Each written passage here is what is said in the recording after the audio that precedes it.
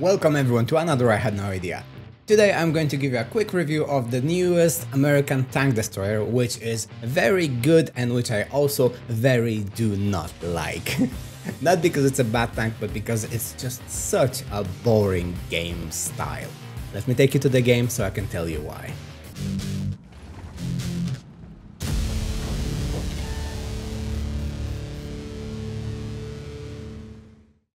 So, the XM66F, what can I tell you about it?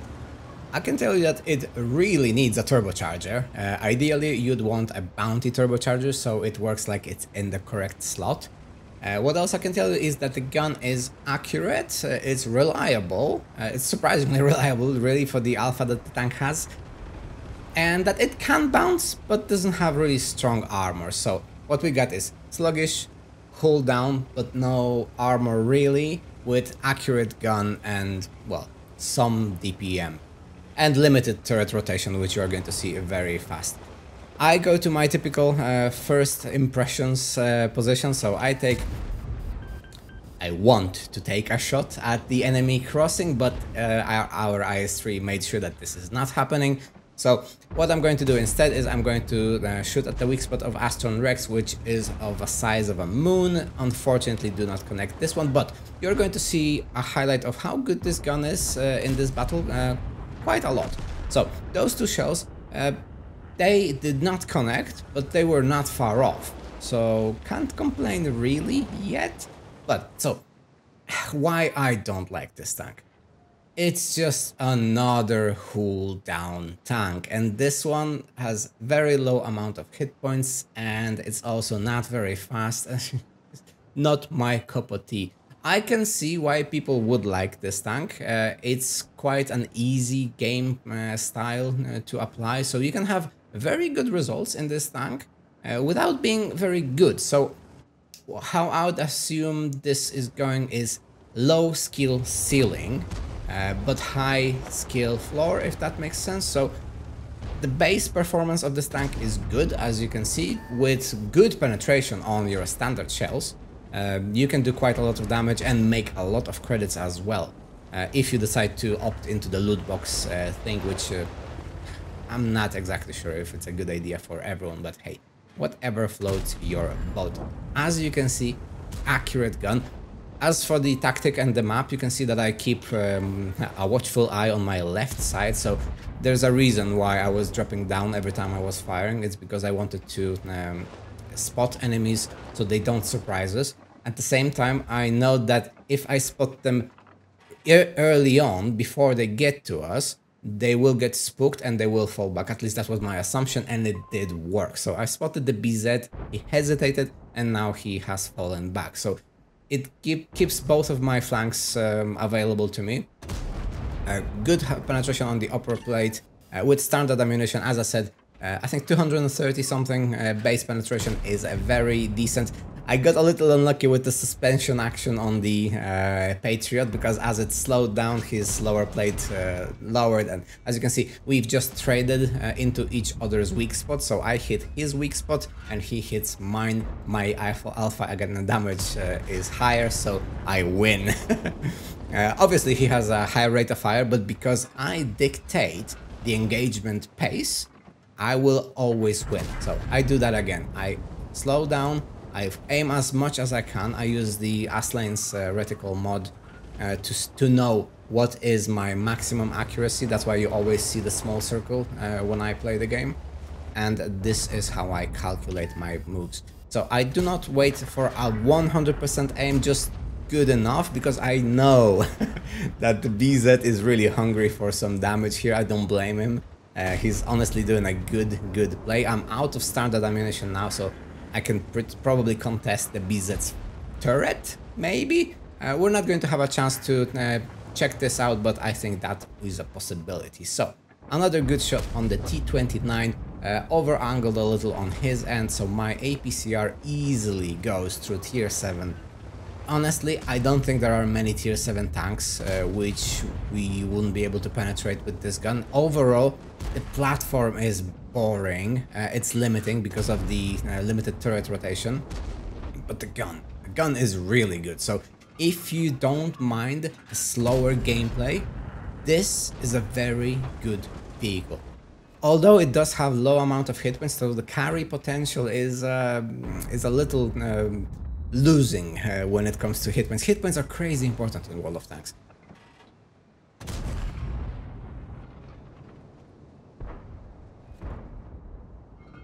So you can't really justify using any funky uh, equipment. You have to stick to what you have uh, on your basic loadout because all of those pieces are mandatory. Now, I take an opportunistic shot here. Um, BZ misses, I bounce, but uh, IS-3 that uh, knocked us earlier comes to the rescue and we finish off Patriot. Uh, but as you've seen, uh, I guess something to highlight, I got hit twice in this game and twice my ammo rack went, so not very good news here. I am not uh, a big repair kit user, uh, so I always use small repair kit and small um, med kits pretty much 100% uh, of the time, apart from the mouse, which I don't play anyway. Uh, but this is how I approach this game. This is going to be as good as it gets in a short uh, span that I had to make this video. I honestly don't think I'll be playing this tank a lot. Uh, it has a potential, yes. Uh, I'm using coated optics, so I was able to uh, spot this um, SMV. And uh, then uh, Oni is going to uh, leave him a little uh, surprise. Come on, I know you can do this, Oni. I should, I miss, but Oni does not.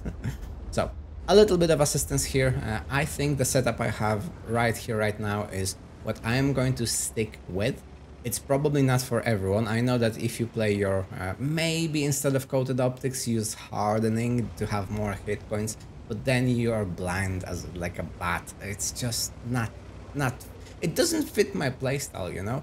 And I don't really see myself uh, playing it. It's just not my cup of tea. And third time I got hit and third time my ammo rack went. Can you imagine that? And also at the same time I used my intuition so I couldn't shoot back. Uh, that's the highlight and that's what I think about tank. It is uh, not reliable when it comes to the armor department. It is reliable when it comes to the gun. The gun is phenomenal, really good.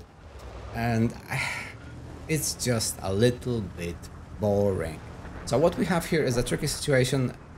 Of course, it's a good Progetto player. There's always one. And that, speaking of Progetto, the biggest problem that uh, shows here is that this is a tier 8 TD.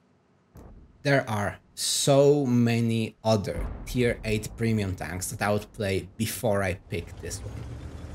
Knowing well that I have such a large variety of uh, premium tanks on tier 8, why would I pick this one in my situation? I'll get the credit, so I don't mind um, shooting gold. This one doesn't need gold, so it makes a lot of credits. But I don't need credits. It's not exciting.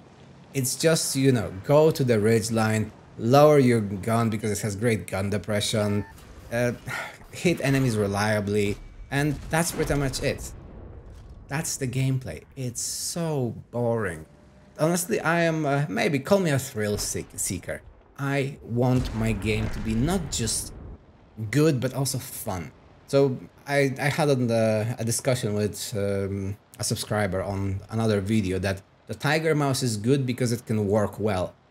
Anything can work well. The problem I'm facing here is that this tank might be good, but it's not fun. So I'm not looking for just performance in a tank, I'm looking for fun factor. This is a performing vehicle that is not fun to me. The same applies to the Tiger Mouse. I know the Tiger Mouse can work, especially if it's matched down, uh, but so can other things. Uh, just, uh, just in uh, TD department, you get the Skorpion, you get the SU-130, way more special vehicles. One has extreme alpha, the other one has uh, mobility. Then you have the uh, the TVP, insane DPM. It's and also accurate. I don't see the reason uh, to play this tank. This is the problem of it. It's not a bad one. If you manage to get this one, especially in a free loot box, you got yourself a credit maker. This is what I see this being. Uh, that's my five cents. Let me take you to the garage so you can see how much uh, you can make if you have credit boosters, Christmas bonus, and you're playing with this tank uh, using, let's say, half and half AP and APCR. And this is the garage, first class, 3,500 damage with some assistance. Uh, the battle itself 122,000 credits, then reserve 61. I just don't feel this tank really. As you can see, good ammunition choices, 400 alpha, although we did roll uh, a few times low in this battle, uh, but hear me out. 1300 hit points and see, 466 meter view range, 50 of them through optics. Can you imagine playing it without optics? You'd be really, really reliant on your own team and do you want to rely on your team? I certainly don't, so uh, I guess there is no discussion because you can't uh, pick this tank, you either get it or not, but if you do, you got yourself a good credit maker, and if you didn't, trust me, there is nothing to worry about, you are not missing anything really special. Let's have a discussion in the comments, uh, did you get it? Do you like this kind of gameplay? How do you play um, your tier 8 TDs? Because honestly, I'd rather have something that is more fun focused. Let's see uh, what you think and I'll see you in the comments. Thank you for watching today's video. If you like this one, I'm sure you'll like one of these two as well. And if you've already seen them all, stay tuned for another one. We always do our best to make sure that we release at least 4 videos every month, so there's always something to look out for. In the meantime, I'll see you on the battlefield.